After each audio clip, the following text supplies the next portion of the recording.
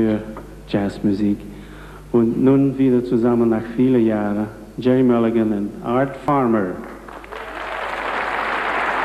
Sie spielen Festive Minor.